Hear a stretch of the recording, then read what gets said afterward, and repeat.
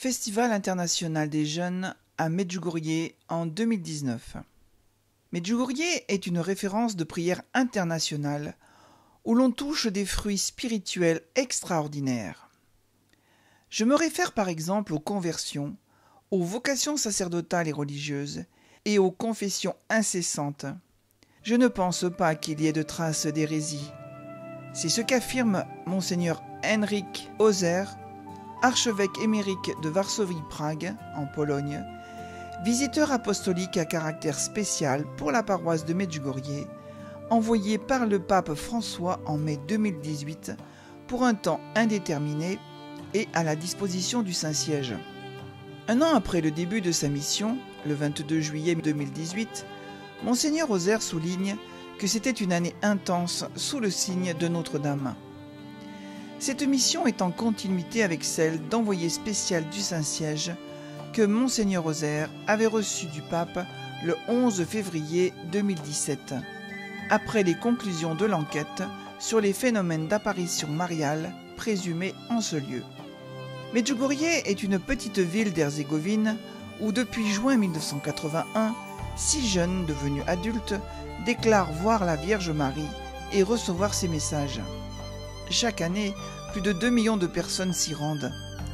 Le 12 mai 2018, le pape François a autorisé les pèlerinages dans ce lieu, qui ne doivent pas cependant être interprétés comme une authentification des événements connus, qui demandent encore un examen de la part de l'Église. Les gens disent qu'ils sentent la présence de Notre-Dame, souligne monseigneur Ozer. C'est un lieu béni de rencontre et de dialogue avec le Seigneur à travers la Vierge, marqué par le silence, le chapelet, la méditation, la catéchèse, la célébration des sacrements, en particulier l'Eucharistie et celui de la réconciliation. Aujourd'hui, ma mission à Medjugorje, poursuit le visiteur apostolique, est d'accompagner les pèlerins qui viennent de tous les continents et d'être à leur côté. Les plus nombreuses sont les Italiens et les Polonais, mais il y a des pèlerins de 80 pays différents. Au cours des semaines dernières, par exemple, une retraite internationale de prêtres a eu lieu avec plus de 400 prêtres de 40 nations. L'archevêque évoque aussi les activités du village de la mer, centre d'accueil pour les nécessiteux, qui existe depuis la guerre des années 90 en Bosnie-Herzégovine. C'est une réalité qui rencontre l'humanité blessée et montre comment la dévotion à la Vierge se traduit par la charité. Quant aux témoins des apparitions, maintenant, ils mènent une vie normale. Ils sont mariés, ils ont fondé des familles, ils ont des enfants. Certains sont déjà grands-parents. Pour vivre, ils se sont également consacrés à accueillir les fidèles. C'est le cardinal vicaire du pape pour Rome, Angelo de Donatis, qui ouvrit le Festival international de la jeunesse à Medjugorje, la 30e édition de la manifestation estivale intitulée Mladifest, qui commença le 1er août avec la messe de 19h, présidée par Monseigneur Dodonatis. Les journées dont le thème est Suivez-moi se sont conclues le 6 août. Elles furent marquées par la prière, la catéchèse, les témoignages, la récitation du rosaire et l'Eucharistie. Voici le message reçu par Myriana le 2 août 2019 de la Reine de la Paix de Medjugorje. Chers enfants, l'amour de mon fils est grand. Si vous connaissiez la grandeur de son amour, vous ne cesseriez pas de l'adorer et de le remercier. Il est toujours vivant avec vous dans l'Eucharistie, car l'Eucharistie est son cœur.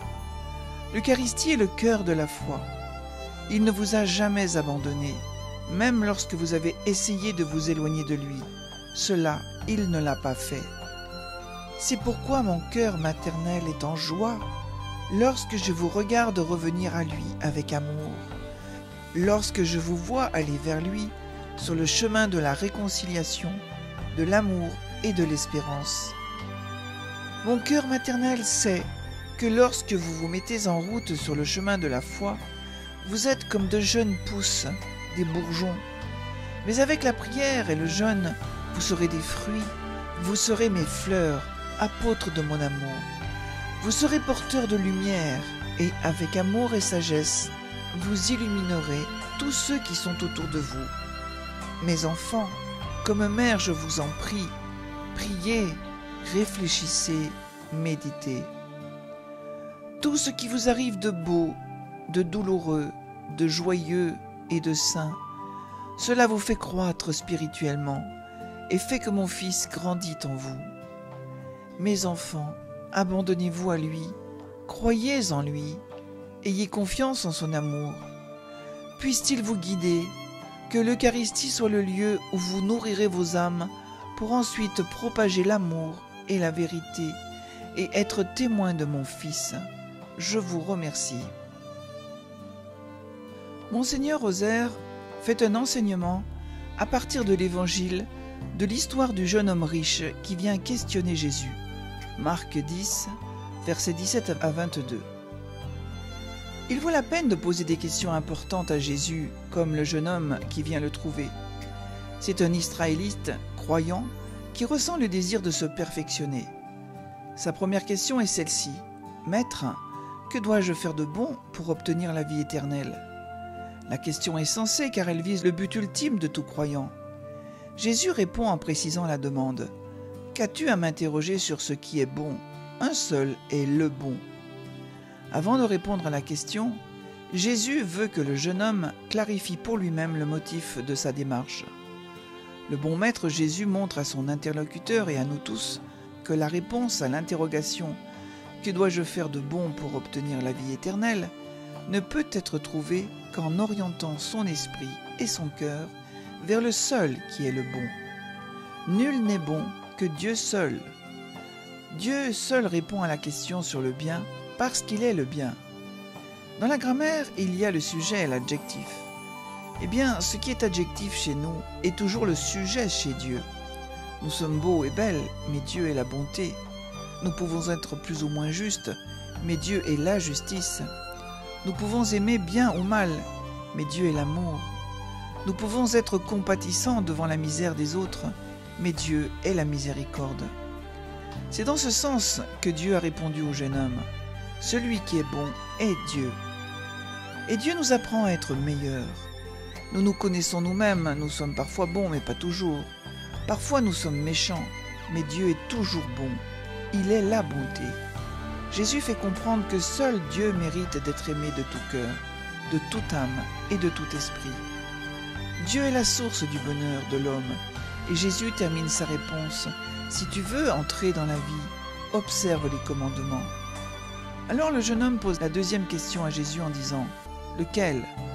Alors vient la seconde réponse de Jésus Tu ne tueras pas, tu ne commettras pas d'adultère, tu ne voleras pas, tu ne porteras pas de faux témoignages. Honore ton père et ta mère, et tu aimeras ton prochain comme toi-même. Les dix commandements, les dix paroles que reçut Moïse ont été inscrits sur deux tables de pierre, parce que la pierre dure, et que cela signifie que ces commandements sont toujours en vigueur. Sur la première table de pierre ont été inscrits seulement trois commandements qui concernent Dieu lui-même, en répondant au jeune homme, Jésus ne mentionne pas ces trois premiers commandements. Sur la deuxième pierre, il n'y a que des commandements de Dieu destinés aux hommes, adressés aux humains et qui ont trait au prochain. Jésus lui dit, Ce que tu fais aux autres te permettra d'arriver à une vie meilleure. Le jeune homme dit qu'il a observé tous ces commandements. Et nous, pouvons-nous dire que nous les observons toujours? La culture ambiante dans laquelle nous vivons a créé des commandements qui sont absolument contraires à ceux de Dieu. En disant vous êtes libre, donc vous pouvez faire ce que vous voulez, vous pouvez mentir, voler, tuer, divorcer, faire des adultères comme vous voulez. C'est pour cela que notre fidélité à Dieu est beaucoup plus difficile que dans les temps passés. Les commandements représentent la condition de base de l'amour du prochain. En même temps, ils sont la vérification de nos rapports envers les autres. Ils sont la première étape nécessaire sur le chemin de la liberté. Les décommandements sont comme des panneaux de signalisation sur la route qui sont de deux natures, des obligations et des interdictions. Ils servent à ne pas sortir du chemin, à ne pas nuire aux autres en causant des accidents qui peuvent causer des invalidités ou la mort. C'est le même rôle des commandements à suivre pour arriver au but de notre voyage sain et sauf, pour arriver au but du pèlerinage de notre vie. La troisième question du jeune homme arrive à ce moment-là. Que me reste-t-il à faire? J'ai déjà observé tous ces commandements. Jésus lui répond immédiatement. Si tu veux être parfait, va, vends tous tes biens, donne le produit de la vente aux pauvres. Tu auras alors un trésor dans les cieux, puis viens et suis-moi. Cela signifie débarrasse-toi de tout ce que tu es capable de consommer. Nous sommes arrivés au festival. La voie, le contenu de cette perfection consiste à suivre le Christ. Après avoir renoncé à ses biens particuliers et à soi-même, c'est précisément la conclusion du dialogue entre Jésus et le jeune homme. La merveilleuse profondeur de cette invitation Viens et suis-moi sera perçue par les disciples après la résurrection du Christ, quand l'Esprit Saint les introduira dans la vérité tout entière. Il ne s'agit pas de se mettre à l'écoute d'un enseignement et d'accueillir dans l'obéissance un commandement. Plus radicalement, il s'agit d'adhérer à la personne de Jésus, de partager sa vie et sa destinée, de participer à son obéissance libre et amoureuse à la volonté du Père. Amère est la conclusion du dialogue entre Jésus et le jeune homme riche. Il n'est pas arrivé à se débarrasser de ses richesses. En entendant cette parole, Viens, vends tout et suis-moi, le jeune homme s'en alla tout triste, car il avait de grands biens, et il est retombé dans la tristesse. Les disciples eux-mêmes sont effrayés par l'appel de Jésus à le suivre, car cet appel dépasse les forces humaines. En entendant cela, les disciples sont interdits. Ils disent Mais alors, personne ne peut être sauvé. Mais le Maître renvoie à la puissance de Dieu. Pour les hommes, c'est impossible.